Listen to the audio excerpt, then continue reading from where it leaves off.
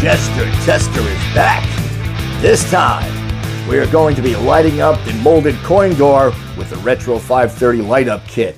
And here it is, guys. I think what we're going to do first is we're going to turn the machine off. We're going to access the back, take the back panel off, and we're going to remove the molded coin door. So hang in there with us, guys. All right, guys, before we get to the machine, I think I just wanted to show you how uh, Retro 530 sends the uh, light up kit. It comes in a box like this. And what you get inside is his little sticker, Retro 530. Okay, and he gives you the light kit. Now, this is a light kit for a single door. It's got the two coin slots. You can get one for a double door with four coin slots. All right, so this is the way it comes.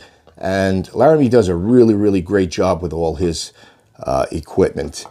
You can see here, very, very high end, heat shrinked, connection, USB uh, for power, and the two LED lights.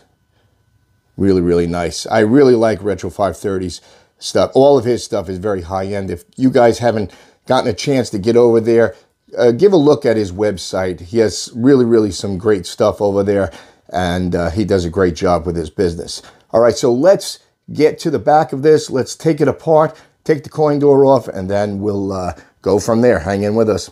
All right, guys, so here we are inside the machine. We're just to unscrew all the screws that hold on that molded coin door.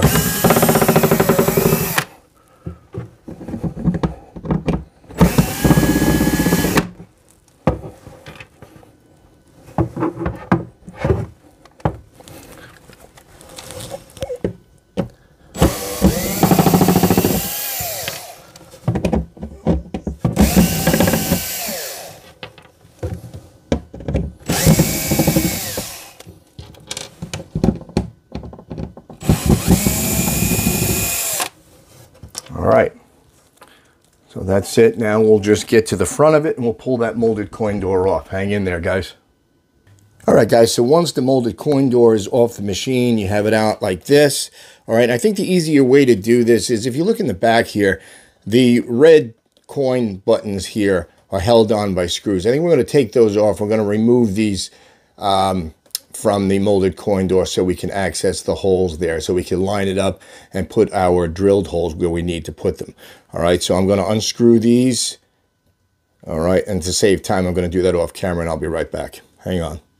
All right guys i just want to cut back in. These screws are extremely small headed screws so i had to get a micro screwdriver to get those out. So um, if you're going to plan on doing it this way you definitely want to get a micro screwdriver with a very tiny phillips head on there. All right. But once you get the four screws out, it's very simple.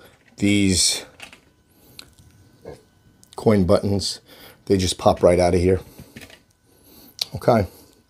So we'll put those aside. And now what we're going to do is we're going to put the coin door back on. We're going to hold it on, and then we're going to use the openings to line up where we're going to drill. All right, guys, so here's what I did. I put the coin door back on just for a temporary, but what I did was behind it, I'll take this off just to show you. I put some blue painter's tape in the area where the holes are gonna be. All right, I'll show you why I did that in a second. Let me just get the door back on. So you put the door back on, you'll have the blue painter's tape showing, okay? Now, an easy way to do this, if you wanna find the center, take a black Sharpie and make a, an X from corner to corner and corner to corner. And the center where those X's come together is where the center of your holes are going to be drilled. Right there and right there. All right, guys, so I had to put the camera on an angle so I can get at this straight. So like I said, right in the center of your X's is where the center of your holes are going to be drilled. All right, so what I'm gonna do is I'm gonna start off with a smaller drill bit just to make a little pilot hole, just so my larger bit doesn't slide on me.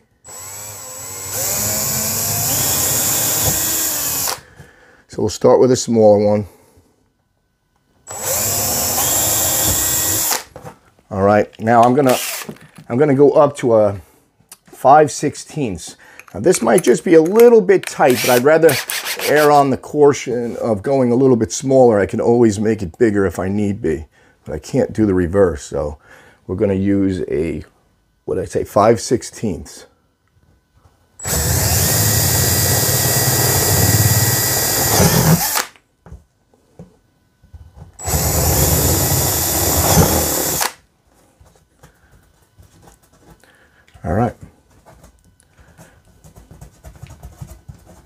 All right. All right, so let's go to the back and we can take this tape off now and we'll go to the back and we'll see how the lights actually fit into a 5 16 hole. All right, guys, just so you are aware, I did move up from the uh, 5 16 drill bit and I went up a size to the 3 8 uh, the 516s did all right. It was just a little too snug. I didn't want that much pressure being pressed down on those red areas of the LEDs. So I went up to the 3 8 which would be the better size to go with. Okay, so definitely use a 3 8 inch drill bit. If your holes are a little bit too big with the 3 8 and it's a little bit of looseness in the LEDs, you can always wrap a little black electrical tape around the red area and it'll make it a little more snug.